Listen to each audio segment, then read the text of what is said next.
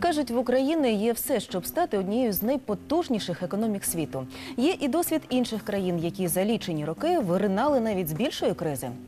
Чому ж у них вийшло, а в нас реформи пробуксовують? Сьогодні Ян Іванишин розкаже про економічне диво Німеччини.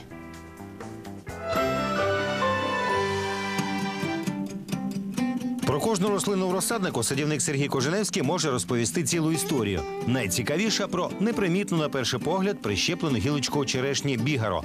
За нею садівник спеціально їздив аж до Німеччини. Многие садовники э, мечтают поехать в Германию. Любой сорт в Германии, он признан, принят, э, и за него несет ответственность государство. Педантичность и подход немцев приводит к тому, что получаются отличные результаты. Садівник, який часто буває в Німеччині, каже, все, до чого торкаються працьовиті німецькі руки, стає в буквальному розумінні золотом і добре продається за кордоном. Все від садових рослин до автомобілів, станків, медичної техніки. Однак так було не завжди. Після Першої світової війни Німеччина втратила всі колонії та більшу частину території. На економіку країни лягло важке ярмо виплат країнам-переможцям. Інфляція була катастрофічною. За один долар тоді давали 150 мільйонів марок. Після того, як 45-го вдруге привели країну до краху нацисти, рівень інфляції знову підвищився, на цей раз досягнувши 600%. Роботу втратив кожний другий німець. Наші 90-ті – це квіточки в порівнянні з тим, що переживала тоді Німеччина, кажуть історики.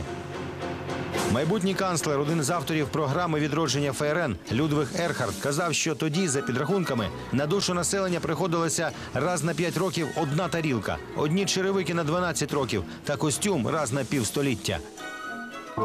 А ще тотальний голод. Кожні вихідні натовпи німців мандрували країною, аби хоча б щось виміняти у селян на їжу. Важко уявити, однак уже за 10 років у світі казатимуть про німецьке економічне диво і заздритимуть учорашнім жебракам. Рятувати країну взялися дві людини: глава окупаційної адміністрації Конрад Аденауер та відомий економіст Людвіг Ерхард. Гроші під їх реформи погодилися давати Сполучені Штати Америки. Це була так звана європейська програма відновлення або план Маршала.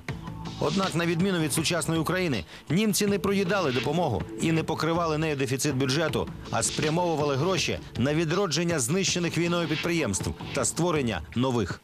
Планы и реформы были направлены на то, чтобы потребитель германский имел возможность да, потреблять товары собственного производства. Були швидко проведені грошова та банківська реформи. Зроблена ключова ставка на експорт. Однак не енергоносіїв, а товарів власного виробництва. А імпорт був обмежений до мінімуму.